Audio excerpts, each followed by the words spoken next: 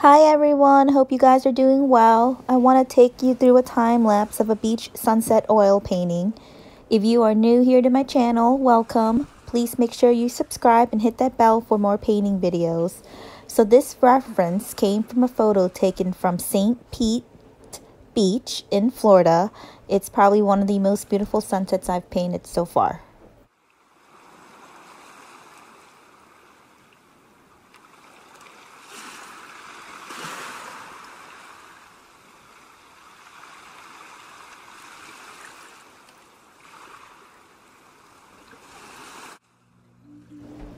So now that Oiltober is over, I also want to share what I learned in the process. I was able to only complete 23 out of 31 paintings.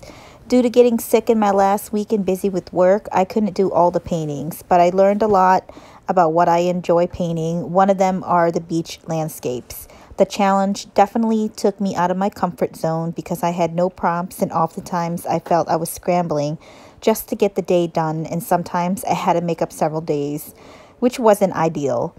Um, I will put links in the description of all the weeks I was able to complete.